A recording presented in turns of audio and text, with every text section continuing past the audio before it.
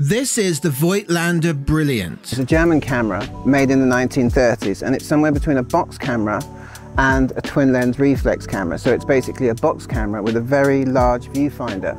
It uses a zone focusing system which makes focusing on this camera quite difficult. But when you get it right, you get some nice results.